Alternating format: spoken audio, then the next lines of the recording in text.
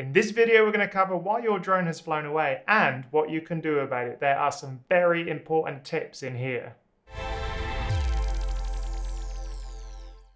This video is based on an article on droneflyingpro.com. Go check it out. I'll leave a link in the description. But in that article, I have a whole bunch of information, scientific studies, and more that you can learn from and make sure that flyaways arguably the most dangerous and annoying aspect of flying a drone don't happen to you.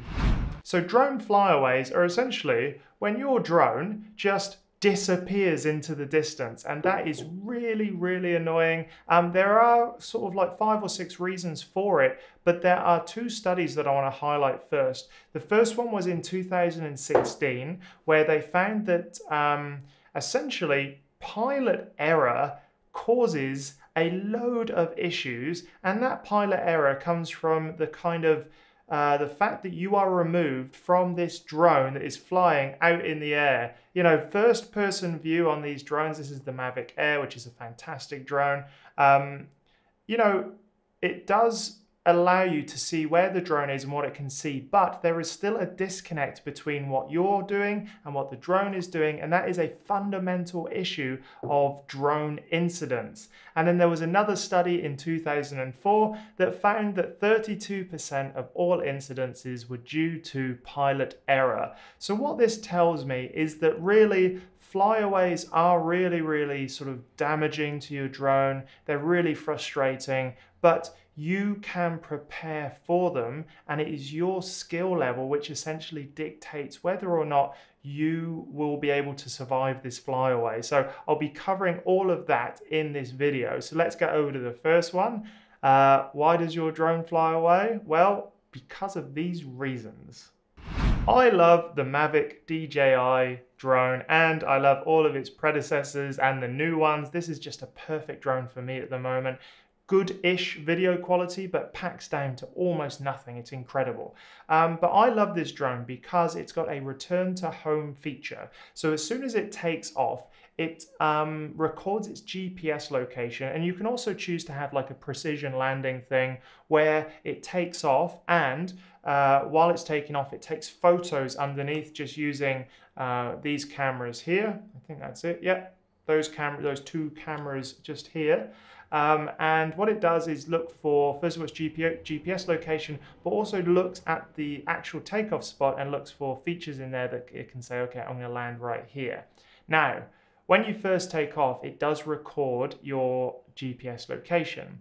Not all drones do it all the time. There's settings that you can turn off. You can accidentally say, no, don't take off and record the GPS location. You can reset the GPS location as you're flying as well. And you can have the GPS location come back or the home location come back to where the controller is all of these things means that if you hit that return to home button, your drone may just disappear in another direction without you realizing it. Um, so making sure that you do have return to home set, that it records when you first take off, and that you don't change it during the flight is so important. So there we are you know, all of these different um, advanced software features that we come to know and love in our drones, they actually can be a bit of a hindrance when we just don't use them properly. You know, it comes down to being familiar with your drone and making sure that you are 100% aware of what your drone is going to do with the advanced features that you've got. Uh, it can be a little bit of a nightmare. The second reason is your drone may fly away because the return to home altitude is set too low. Now, these drones, if you put, uh, you know, return to home, if you push the button, they will go up or descend to the return to home altitude, which you set in the in the app.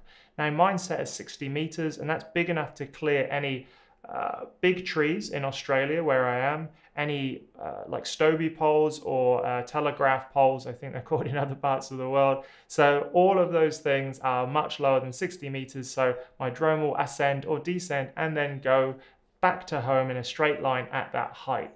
Now, if you've got a fancy drone, your return to home altitude, if it comes across a, a problem or an obstacle, it will have obstacle avoidance and it will try to go around the obstacle. Now the issue is is that it's only so clever, which means that if your drone is traveling and it comes across something that it can't quite get around, it doesn't know whether to go this way, this way, up or down, it will just stop and in the worst case scenario, it may just head off in a completely different direction. Um, that's pretty unlikely. It's more likely just to stop and not know what it's doing. Then it's up to you as a pilot to bring it home. Um, yes. So make sure that not only your return to home place is set, but the return to home altitude is set at a uh, height that is appropriate for your local environment. Number three is compass interference. Now, quite often with this drone, I have to recalibrate the compass, and that's because there is a load of interference in my surroundings. Interference comes from, for a compass, large metallic objects or large magnetic objects. And so I've often tried to take off on some reinforced concrete blocks because they're nice, big and flat, put the drone on top and then it says calibrate your, your compass. And that's because the iron in the uh, metal reinforcement in the concrete just causes this compass, this small electronic compass, to really struggle to work out where it is and which way it's pointing. Other interference can come from cars, can come from big sheds, can come from uh, wires, can come from other buildings, um, large magnetic objects as well. So it's strange, but the largest magnetic object that I've flown near is probably like a speaker. Um, and there's not much you can do other than just avoid these things. So, uh, yeah, it can be a little bit frustrating, but staying away from things that can cause significant magnetic interference, and that includes some naturally occurring rocks as well. Um, that just means that you will be assured that when your drone decides it's going to return to home, the compass knows which way it's pointing and it's not going to just fly away in a weird ass direction. The fourth thing is flying out of line of sight. Now, do you remember that study I mentioned in the beginning? In 2016, they found that there was a disconnect between the pilot and where the drone was, and that meant that the that was a fundamental issue in uh, drone incidents and accidents. And so what I recommend is you take your drone and you never ever fly out of line of sight. In Australia, it's a legal requirement that if you're flying your drone, it needs to be within a certain distance of you, and also you need to be able to see it at all times. Uh, and look, it can be a little bit confusing. So the first person view of your camera, the, the one you get on your screen when you when you've uh, got your remote control, is so awesome and fundamental in deciding where your drone is orientated, where it's at. And essentially all I do every time is I find myself and I just fly towards myself.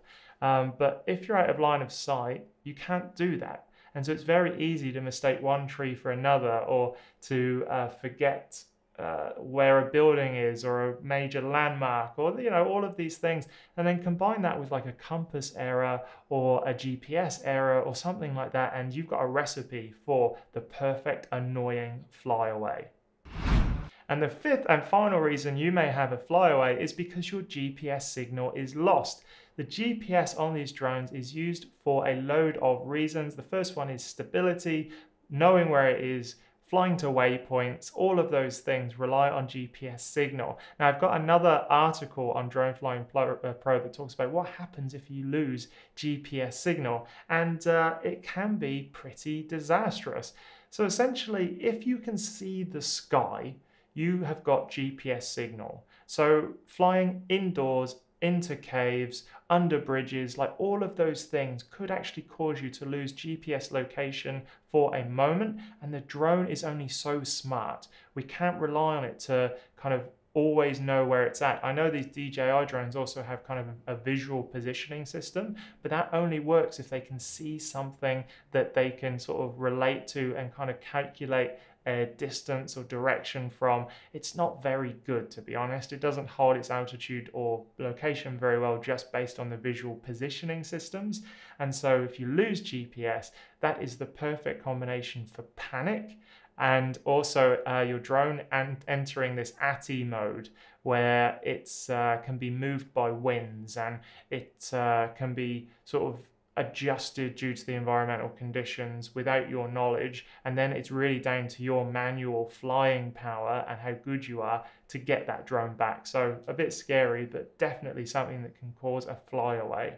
So there we have it. There are all the reasons why your drone may fly away. Go check out the article on Drone Flying Pro and let me know in the comments what you would add to that list. If this video was great for you, please remember to subscribe and hit that bell notification. I'm going to be reviewing drones, giving you drone advice, tips, and everything else to help you and your drone flying journey. I hope you have a fantastic day, week, month, whatever it is, and I shall see you in the next video.